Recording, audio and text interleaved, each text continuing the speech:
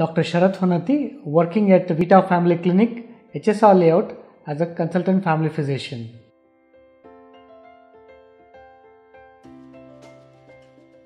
In geriatric patients, a fall of HB from a baseline which should always be evaluated further to look for any malignancy or if it is associated with an any rise in the ESR or the fever, it can be an infection or it can be a cause of concern, you know, it can be a malignancy as well. So it has to be thoroughly evaluated in geriatric patients.